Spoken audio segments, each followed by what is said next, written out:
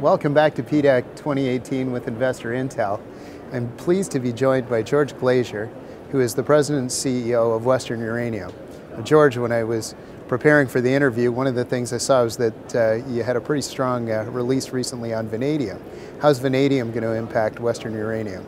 Well, that's a good question because vanadium is one of our products in the, in the mines, uh, the Sunday Mine Complex.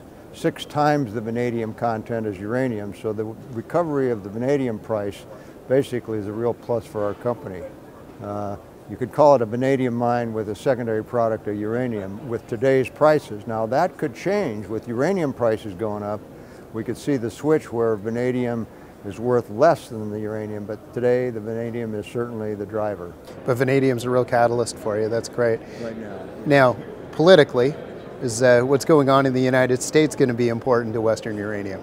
Oh, absolutely, and a lot of people are not aware of this petition that was recently filed. The same, under the same uh, process that the steel and the aluminum people have, and just were apparently, you know, awarded some relief. Uh, the U.S. producers are asking for similar, you know, protection. Instead of having a tariff, we're asking for 25% being sourced in the U.S.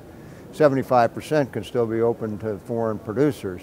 That's, if, if that's awarded in any significant quantity, you're going to see U.S. uranium worth a lot more than world uranium. Now that could take months to do. Uh, they've got a certain time frame they have to do it in, so that could impact the U.S. uranium market fairly drastically, fairly soon.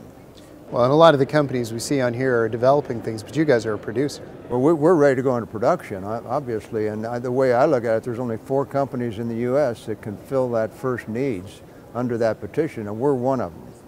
Wow, that's fantastic. So the opportunity looks great. Um, in the current state of the market, what sort of uh, reason should investors be buying Western uranium right now? Well, you know, obviously, I think you're buying in the low part of the market. The uranium prices have not gone up. No. And so you're buying the right companies at the bottom or close to the bottom.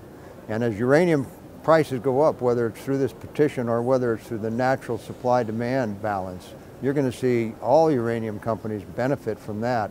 That may take longer, you know, but if the petition is successful, you're going to see U.S. uranium companies go up fairly quickly.